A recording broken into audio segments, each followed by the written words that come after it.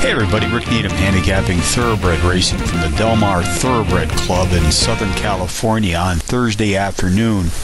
July the 22nd, and this is my Equibase Major Track Report. Of course, Saratoga opens tomorrow, so I'll be covering both Del Mar and Saratoga in these evening uh, YouTube videos. But let's focus on race 4, 3.30 p.m. Pacific Post Time. Six furlong sprint on Del Mar's cushion track, maiden fillies and mares, three years old and up, race for a claiming purse of $20,000. Contenders number 8, Halloween Candy. Number 1, Haunted Highway.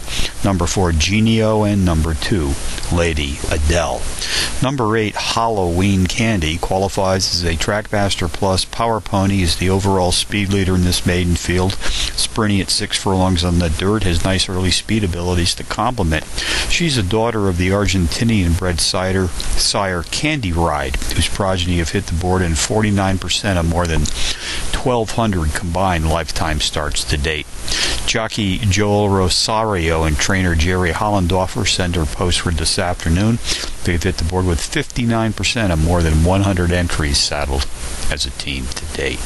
Race 4 summary number 8 Halloween Candy tops the contenders list, which also includes number 1 Haunted Highway, number 4 Genio, and number 2 Lady Adele.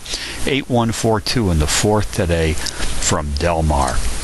A couple of bonus long shots for you to ponder today. Let's go to Charles Town first. Race six, number nine Matthews Pride, six to one in the morning line, qualifies as a Trackmaster Plus Power Pony. Drops in class by six units.